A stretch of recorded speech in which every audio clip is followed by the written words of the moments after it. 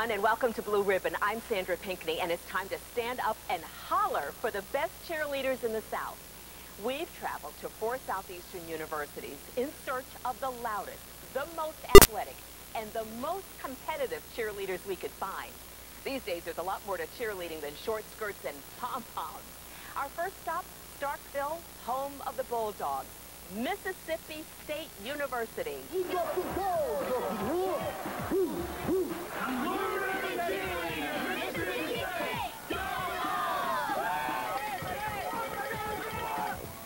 MSU fans love their Bulldogs and their cheerleaders. This squad really knows how to pump up the faithful followers of the maroon and white.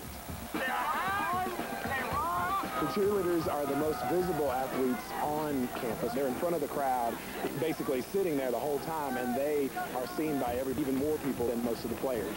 We go in five, six, seven. Daryl Lyons is the head coach of the Mississippi State Cheerleaders. He also oversees the pom squads and the team mascots Bully and Bell.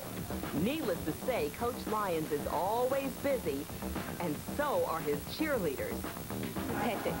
From 8 in the morning till 10 at night, I'm going, going, going. But, I mean, it's all about time management. I think uh, a lot of people perhaps think of cheerleading as just being out there in a short skirt yelling for the boys, uh, but it's not like that at all because we work hard and um, it's just it's not about being seen. It's about you know doing our part to get everybody involved, getting everybody excited about state.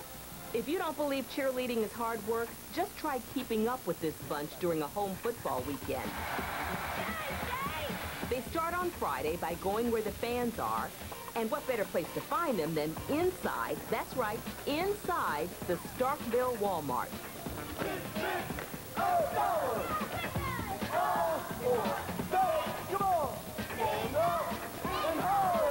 the community who's not able to go to the games sometimes and actually come out. The children are very active with it. A lot of photographs with Bully and uh, Bell and the cheerleaders. Uh, the kids just really enjoy it. Family time. This is our second year of doing this, and it keeps getting bigger and bigger each time.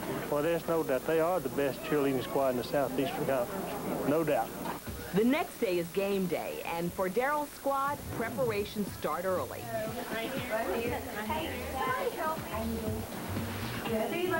Big game, you guys. It's the last home game, so finish strong. Go. They better be ready.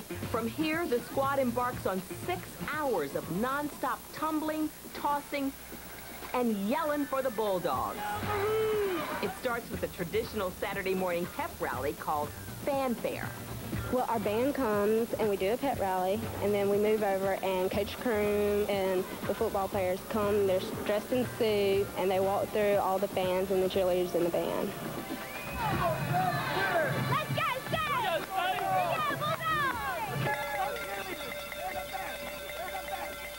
Next, the team takes the long walk over to the stadium to stretch and warm up their stunts. Then it's time to lead a few more cheers. This time for some of the thousands of tailgaters spread out all over the campus. Deep South's famous for ribs, and so we just decided we'd bring some up one weekend, and it's got to be a tradition, so we, we try to do this at every home game now. Mr. Beatty brings a whole lot of ribs these days. Since his daughter joined the cheerleading squad, she's been bringing about 40 of her closest friends over for lunch. This is the fun part, being out here, to eat. After a quick bite, the team is off to another performance at the club level. These are the luxury suites reserved for the university's major contributors. Finally, it's game time.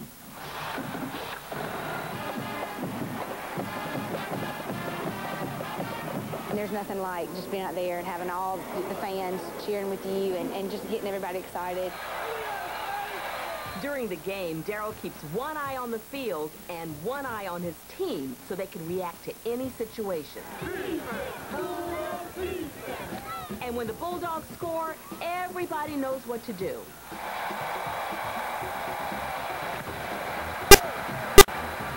The crowd loves the elaborate pyramids and stunts the cheerleaders perform, skills they develop by competing themselves. The school trophy case is filled with blue ribbons the team has won at national cheerleading competitions. As we compete at UCA Nationals, we've just qualified uh, in the Division 1A, and and it's very tough in our region because we're in there with the SEC, all the other major SEC schools, Kentucky, uh, LSU, Tennessee, and Alabama. The NCAA doesn't sanction competitive cheerleading, and most schools don't recognize it as an official sport. But don't tell that to these young athletes. If you're around friends that don't know a lot about it, they're kind of like, well, that's kind of girly or, you know, something to that effect. But if you if they see what you do every day, they, they realize, man, that's it's hard work. Uh, we've been practicing lately, like th three times a week, up to two, three hours each time. And now we're, since we're getting ready for nationals, we've been practicing a little bit more. Eight, squeeze one. Squeeze. Save it. Good. Move. One. Three-hour practices, workouts, a nearly non-stop schedule. It makes you wonder, why do they do it? The best part to me is the camaraderie, just being around each other and being a team. I love doing it, and I love my school. And when you're in front of fans, it just gets your adrenaline going, and it, you can't beat it.